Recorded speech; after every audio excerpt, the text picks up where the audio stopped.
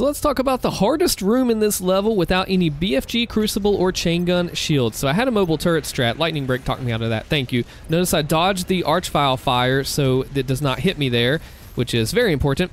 So the first point is you take out the two Dread Knights. That will spawn in the two Tyrants.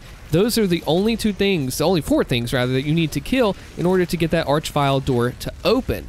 Now, the key thing here, uh, there's just so much crap going on in this room. It's really tough without having the, the supers or the chain gun shield. So I'm just trying to move around, stay alive, kill the tyrants as fast as I can. I used to focus on the other stuff a little more, but nah, nah. I'm just going after the tyrants, blood punching my way out since I don't have the chain gun shield.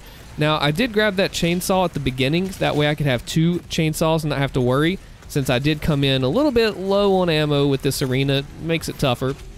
As you can see, the gates are open now, and I am almost dead. So I try to do long range ice bomb, lock on, doesn't work, have to do a little escape maneuver, 11 health, ouch.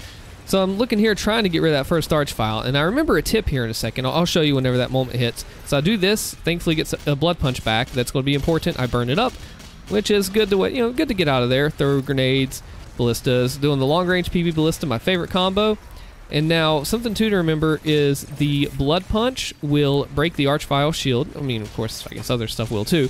But once you get those two guys down, it's not over yet because you still have the rest of the demons that he spawned, as well as just the other fodder in the arena. I think after doing both this and the coin room, this is a tougher one. And I was able to do that with the practice method that I have in a video. So if you're not checked out, you really should check it out. It's really, really helpful to learn these fights. Now, if I really, really had to break it down, everything after this is so much easier. Even the crucible area with the tyrants, with you're supposed to crucible them, you can go in there. I read a tip with the overdrive, or I didn't do it. I just went in normally. So the key thing to this fight is two dread knights, two tyrants.